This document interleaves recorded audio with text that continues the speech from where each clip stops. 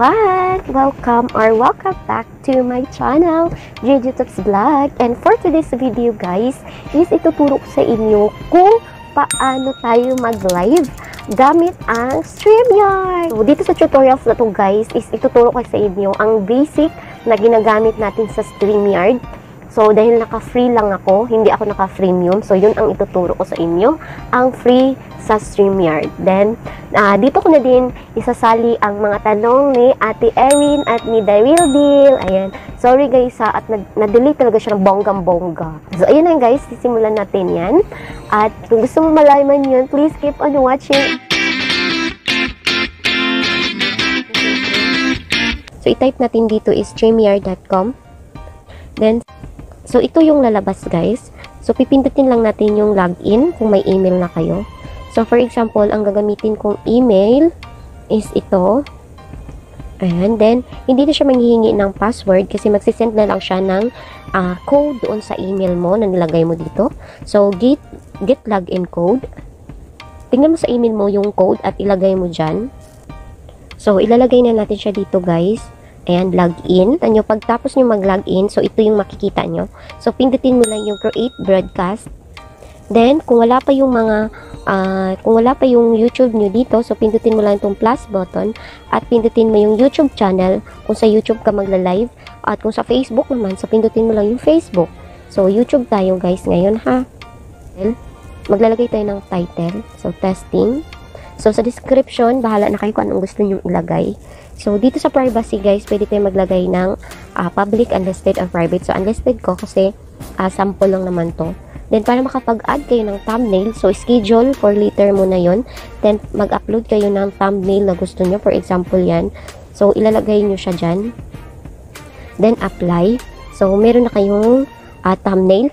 Then, dito sa part na to, schedule start time. So, pwede mo siyang pindutin kung anong date.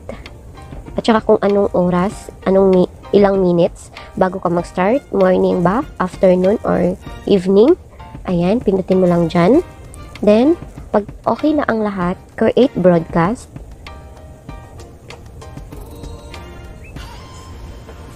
So, pagdating dito guys, i-click mo lang yung Enter Broadcast Studio. So, ganyan mangyayari guys pag ang yung phone ay hindi naka desktop site. So, ang gawin natin is click natin yung three dots. Then, desktop site.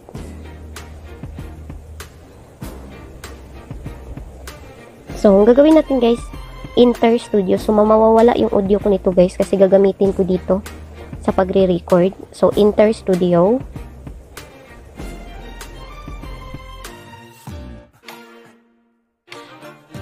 And so, makikita nyo dito, uh, pag gumagalaw yung mic, ibig sabihin okay yung audio nyo.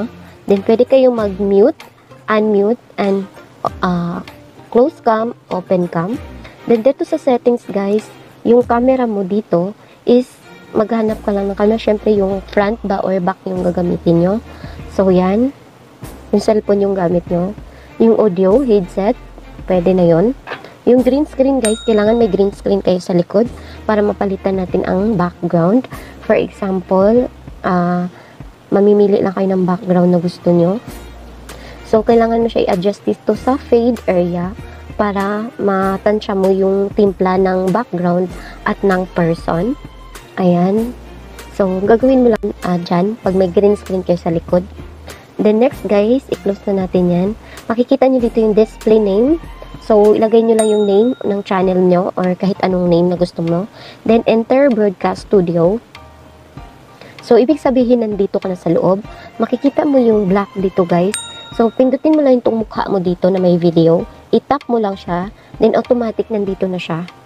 Then, uh, kung mag-share screen ka guys, kailangan gamitin mo ang laptop or PC. Kung mag-share screen ka kasi hindi siya gagana sa phone. Then, ganun din, may mute at saka unmute. Then, uh, off cam at saka open cam. Then, cam or mic, ganun din katulad kanina. Then, dito na part guys, yung share screen. So, ihiwalay ko siya kung paano tayo, ihiwalay ko siya ng tutorials kasi gagamitin ko yung PC or laptop ko sa pag-tutorial ng share audio at share screen. Kasi cellphone yung gamit ko ngayon. Mahirap dito sa PC kasi maingay. Then, yung invite guys, itap mo lang yun. So, makikita mo dito yung link. So, i-copy to clipboard mo lang yan. So, pwede mo siyang ilagay dito sa chat box. Um, pag may nag-click din sa link na yun, so automatic mapupunta siya dito sa panel or dito sa backstage. Then, itap mo lang siya. So, ganun. Ganito mangyayari pag may guest, naka-gray. Then, pag i-add mo siya sa, sa screen, so magiging blue na siya. Then, dito na part guys is yung mga design kung may guest ka na. So, ganun yung pattern nyo. Mamimili kayo. Then, dito tayo sa banner. Banner. So, dito yung scroll banner.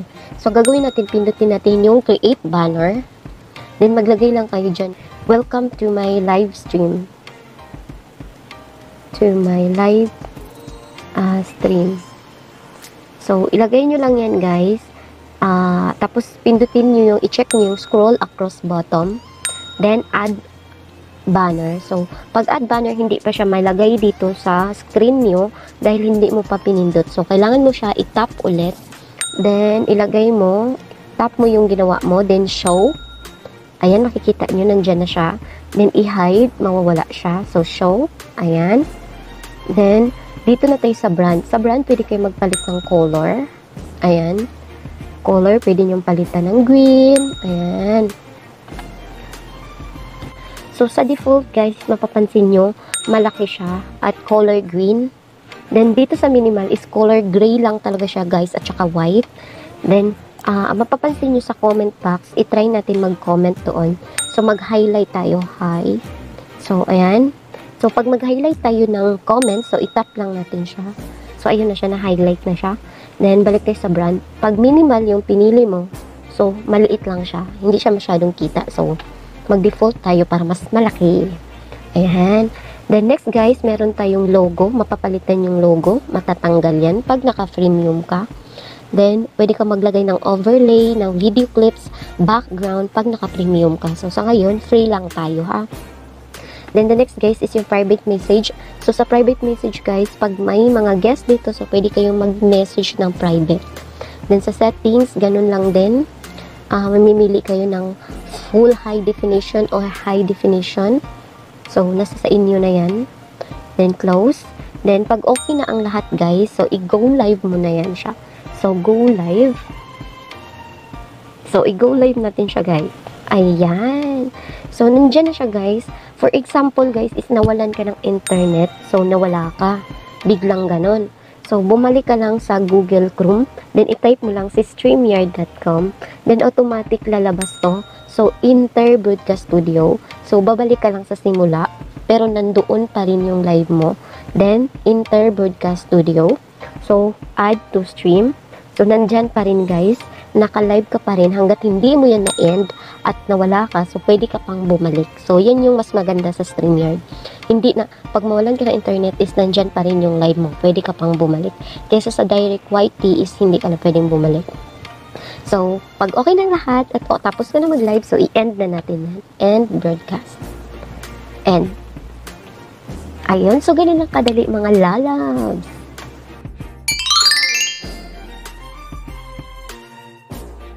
So, dito tayo guys. So, gagawin natin, pindutin natin yung share screen. So, gagana lang siya sa PC or laptop. Pag cellphone, hindi siya nagana, hindi siya pwede mag-share. Then, pindutin natin yung share screen. Ayan, so dito natin sa entire screen, ibig sabihin, lahat ng mapipindot mo na sa mouse is nare-record niya. So, pwede ka din mag-share ng audio dito na part. Ayan, then, lahat na maklik mo talaga is ma-record niya. Then, pwede ka rin mag-share ng audio. Then, dito sa Chrome tab, guys, ito yung maganda kasi mag-new tab ka lang. Then, yun na yung isi-share mo. So, pindutin mo lang yung uh, share audio at masya-share mo na yung uh, audio ng new tab mo. Kunwari, mag-YouTube ka or may ipiplex kang channel. So, lalabas siya dyan. Hindi yung pagkadaklik mo ng mouse, nare-record niya kung saan ka pumupunta. Ayan, so mas maganda yan. Then, dito na part guys, yung design ng panel nyo. Ayan, dyan mamimili kayo ng uh, kung ano yung magiging hitsura ng screen nyo. So, pwede nyo siyang i-click-click at eksperimentuhan kung alin yung mga gusto nyong design ng inyong screen. Ayan. Na, yan makikita nila. So, pwedeng isang screen lang yung naka-new tab, pwedeng kayong dalawa. Ayan. Kung ganyan lang siya kabilis guys, mag-share nyo na ang screen ng inyong laptop. Ayan. So, itry natin siyang i-play. So, punta tayo sa new tab, then i-play mo siya. Ayan, naka-play siya guys. I-play natin. Yan. Then, balik tayo sa StreamYard. So, ibig sabihin dito, kahit naka-mute ka dito, so, yung audio, uh, yung shinare mo na video doon ng YouTube, is naririnig nila ang audio nun, yung music na yon. Ganoon, kahit naka-mute ka, maririnig pa rin nila yon. Kasi shinare mo yung audio na yon, yung tab, new tab na yon. So, ganun lang kadali guys, ang mag uh, share screen. Pindutin lang ang share screen, Chrome tab, then share audio, then i-click mo tong video ng YouTube na yan, then share. Uh, yay! Yun lang kadali mga lala.